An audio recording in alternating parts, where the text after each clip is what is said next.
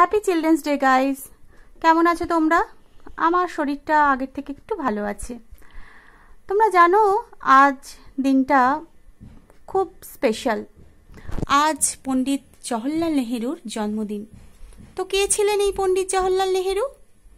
Pandit Jawaharlal Nehru was the first prime minister of free India উনি স্বাধীন ভারতের প্রথম প্রধানমন্ত্রী ছিলেন। And he has a great affection to the children এবং বাচ্চাদের প্রতি উনার খুব স্নেহ ভালোবাসা ছিল। সেই কারণে আজকের দিনটা শিশু দিবস হিসাবে পালন করা হয়। এনিওয়ে আজকে আমি তোমাদের একটা জিনিসের সাথে পরিচয় করাবো। এই দেখো।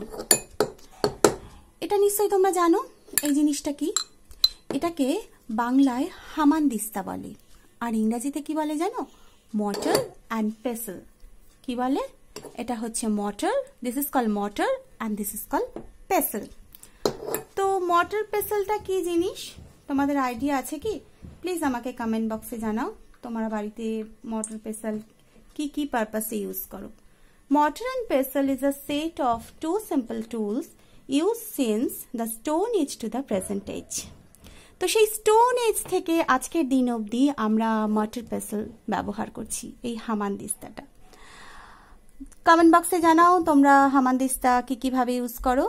আর ভিডিওটা থেকে যদি কিছু ইনফরমেটিভ মনে হয়ে থাকে, তো please like subscribe and share thank you